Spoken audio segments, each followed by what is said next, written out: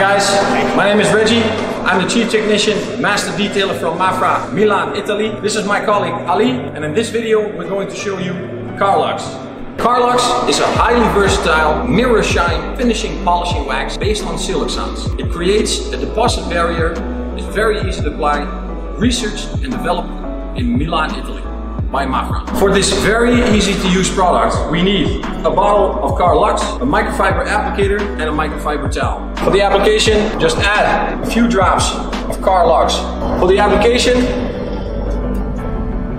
divide product onto a surface, work panel by panel, and wax in the product with circular motions. It has a phenomenal scent, very easy to apply, does not create any halos and gives a wet, deep gloss effect. When the product is dry, you can remove circular motions in a microfiber towel, preferably something with a little bit long microfiber.